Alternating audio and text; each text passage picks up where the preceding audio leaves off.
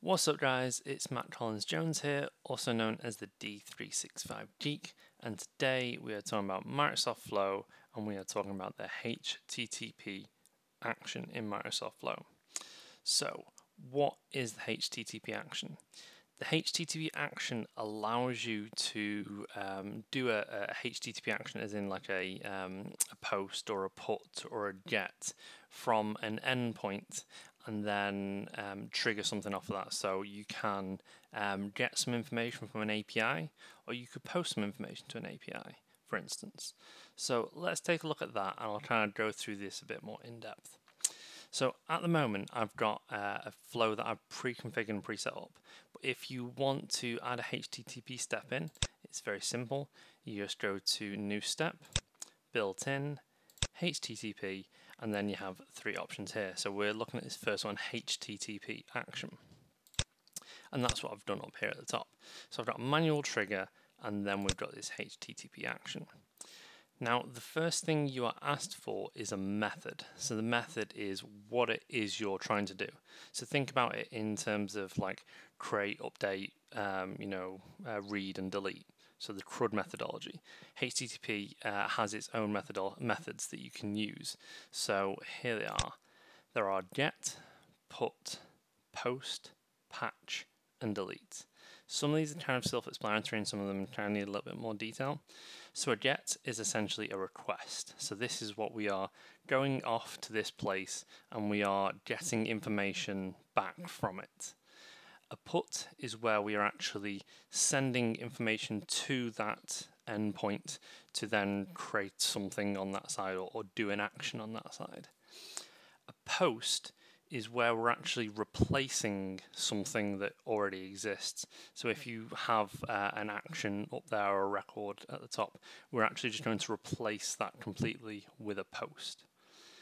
A patch is where we are changing a bit of data for something that already exists. So slightly different from a post, where a post would be replacing the whole thing that already exists. A patch is manipulating or changing a piece of data there that already exists. And put is like creating that new thing. And delete is delete, so we're going off and we're deleting that. So in my example here, I've got a get. Um, so what Next, ask for is a U URI. So for this, I am looking at a cat API. Yes, I have a cat. She's brilliant. And obviously I thought a cat API would be a good thing to show you. So we have uh, this uh, this URL here for this API that I'm going to be sending, uh, going to be like connecting to.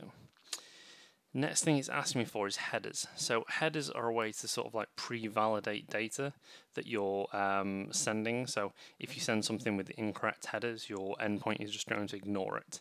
So in this instance, I've had to request an API key. It was free. I just signed up and they sent it to me in an email. Um, don't steal this. Uh, you can do, but you know, what's the point? It's free. You can go to your own. So I am sending this x-api-key, which is in the format that they want, and then the value I'm sending is this. Um, this is my API that I've got. Now you can have other headers in here if your API uh, requires that sort of thing. Underneath headers we have queries. So queries similar to headers are things that we can send to the API to then um, specify a, a, specific thing. So we are querying on that side to get a specific piece of information back.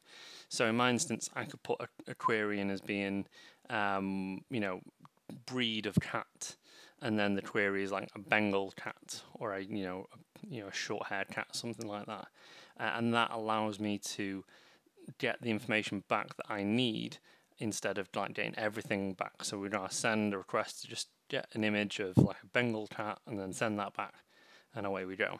All good. now, the body is a bit more complicated.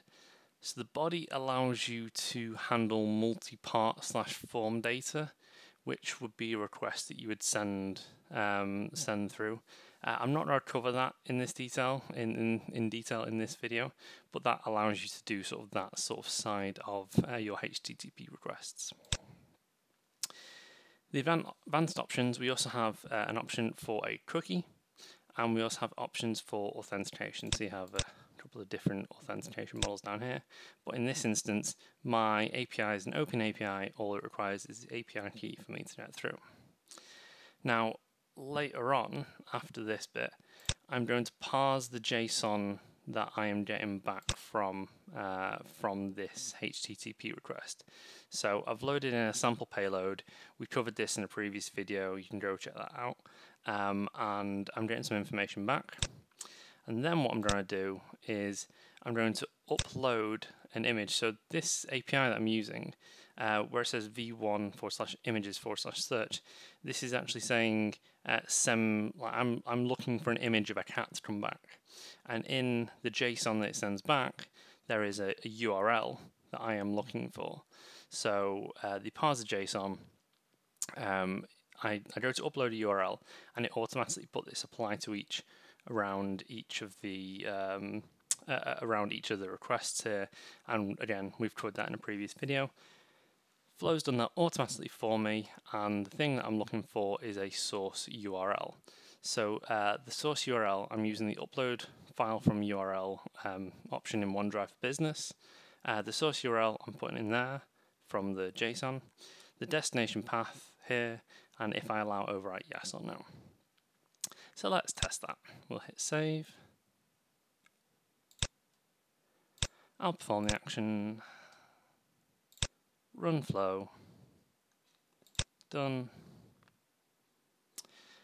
As you can see, it's running through. This is taking a little bit of time to complete, and there it goes. So, uh, we've sent the HTTP request, we've sent the API key, and that's returned, uh, and that's, that's sent here. Uh, and then we can parse the JSON that we've actually gotten back from the uh, from the API endpoint. So that's given us this uh, this image here, and then later on I've taken that image, I've uploaded that to my OneDrive for Business. Uh, this is the image, this is the name of it, and we put it in there. So if I swap over to my OneDrive for Business, we can see that there is a cat's picture here, cats.jpg, created a few seconds ago. If I open that up, there's a picture of a cat swimming and it's got a stick. Now, isn't that something you want to see every day? So I might configure this Microsoft Flow to go off and send me a picture of a cat every day I could send it to, um, I could configure it to post Twitter every day and show my Twitter followers that I like cats and here's a random picture of a cat every day. It's brilliant, but these things can be used for anything. So the HTTP action allows you to do various things with things like APIs to then go and do various actions. So it's a really powerful tool in Microsoft Flow, and me as a non-developer, that's easy enough for me to understand. You know, I know what it is an API is expecting. I can go off and do it. I'm delivered something back, and then I can work with that. What do you guys think? Are you gonna be getting cat pictures from the uh, cat API now? I know I will be. Let me know in the comments down below. If you like this video, please like and please share it with your friends, and please subscribe to my YouTube channel. Ciao for now.